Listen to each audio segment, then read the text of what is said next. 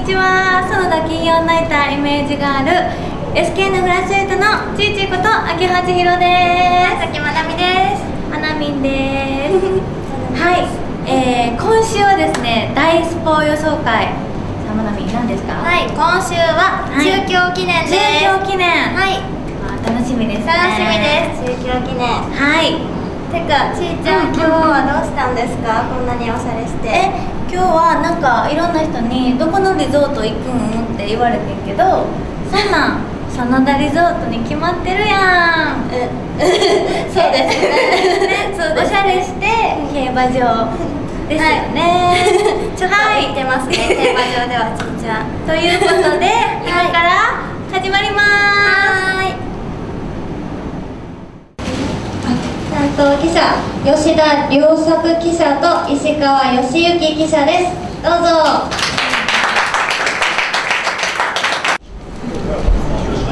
はい、よろしくお願いします。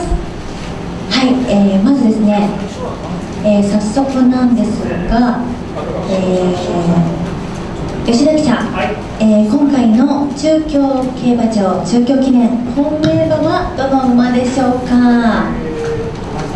3番のグレールジャックですね。はい、はい。えー、まあ久々になるんですけども、はいちょっとね男の子なんですけどね、女の子みたいに挑戦するところがありまして、はい、あの使っていくと体をどんどんしぼんでいってしまうあありますので、はい、えー久々でね今回体をしっくらさせての出走、もうここのレースを狙ってね、もう準備万端できたので、もともと重賞レースに勝ってる馬、はい、人気的な部分はあると見て、えー、本命にしました。三番のフレールジャック。なるほど。えーではですね、太鼓と穴馬を教えていただけますか？対抗はね、16番、ブラガラ。はい、えー、まあ、ちょっと長い直線でないとね、あの全く用事のない馬なんでね、うーんまあここはね、もうこれを逃してしまうと、この馬の走れる状況がなかなかないので、はい、ここは明治で勝負してくると思います。久々なんですけどね。はいでえー、と、あとは乱量ですか。いこれもちょっと似たようなね、あの不器用なところで、ちょっと長い直線で、えー、まあね、捨て足を伸ばしてっていう馬なので、はいこういう舞台設定と、あの、本来出られなかったんですよ。はい賞金で上位の馬がやめていって出られたっていう部分もありますあので、ーなるほど。そういう点でね、狙ってみようかなと、はい、思います。はい、買い方で何かおすすめとかありますか？買い方ね、だから、この3番のフレールジャックを軸に、うん3連単の軸1等マルチはい、で買って、あの当番のステイクリッドセブンあたりがね、引っかかってくれたらね、大きい配当になると思うんですよ。おーちょっとこれもね、当番の面白いんで、離れてやってみてもらえると嬉しいですね。はい、ありがとうございます。えー、石川義行記者、お願いします。えーマークね、あの吉田記者と違う馬につけていただいてるんですけども、はい本命馬をお願いいやします。もう吉田先輩のね、あすみません石川と言います。えっ、と7月に大スポさんに入れてもらったばっかりで、はいえーまだまだ新人ですんで。ビッグルーキーともう吉聞いています。いやいやもう年だけ食うてるんですけれども、もう吉田先輩の予想を見てあ感心しながらですけど、まあ僕は乱量に本命をしますね。はいはい。えーというのも今ちょっと吉田先輩がおっしゃったんですけど、このレース自体の成り立ちが結構みんな予想ね、えー考える上で結構中京のもう馬場が荒れてきてるんですよね、はい。その中で外差しが決まるような感じの後ろから行く馬が有利じゃないかという。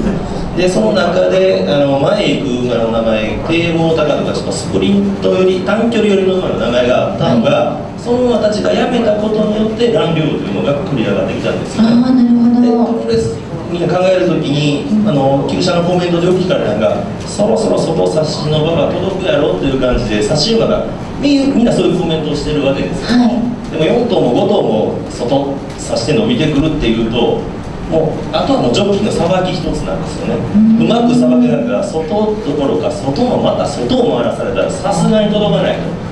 そういう馬も出てくるかなという中で、はい、えー結局はあの繰り上がって出れた乱量という本命というのも、まあ、ここで取材している感触で、はい。あの木曜日の朝の段階で、あの橋田調教師さんに話を聞くと、はい、あもう出られないねと、うん。出られなければ同じ日の福島あの方のオープン 1800m のあー全く違う形態のレースに出走することになると。でそこで島田ジョッキーまで抑えてあ残念だ残念だとおっしゃってたんですよね。はい。で逆に僕もあ残念ですよねと言いながら、はい。福島の小回りをどうやって走るかって話ばっかりしてたんですよ。でもだから正直に出てくる話も僕も振らなかった僕も悪いんですが、はい。まあ、基本的にどそれだけ残念だっていうことはここのレースにどれだけ出たかったかと。それが叶ったってことは相当に脈があるなと。そういった意味で、えー、乱量おめでということではい。はい、ありがとうございます。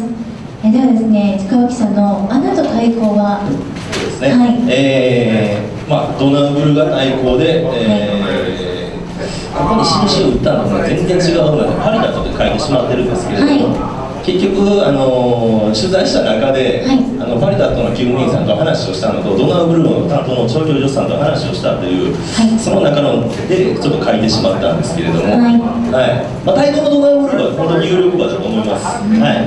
まあ、夏は牝馬だし、まあ、ちょっとこれから先、えー夏はまだ走らせたいというのがあるんで、あのサマーシーズン狙ってるんでちょっと余裕の作りかと思うけどそれぐらいの方がかえっていい馬かというところで、まあ、内田ジョッキーである程度みんなが後ろばかりやっていうところで前で持たせるという逆パターンでみんなが予想を組み立てるのと逆パターンで残るという可能性はちょっとあ考えてみた方がいいかなと。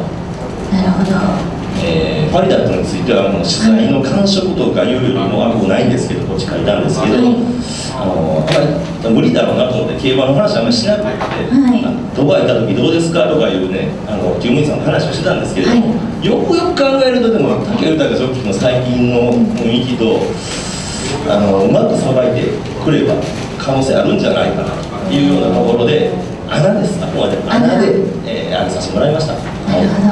でも抑えておいた方がいいかなという感じですか？そうです。本当にまあ穴ですよ。あの、はい。そんなにあのチャンスがあるとも思ってないと思うんですけど同じ厩舎ならあのワイズリーの方が絶対にいいはずなんですけど、まあ、他球がジョッキーの手腕によってっていうようなレースかもしれないです。はい、えーではですね、吉田良作記者、石川義之記者、えー本日ありがとうございました。